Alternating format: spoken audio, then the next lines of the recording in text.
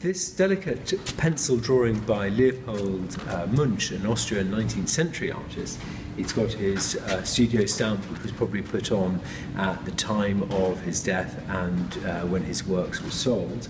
Uh, this was done in, in outside, uh, in the plein air, and is a very delicate example by him.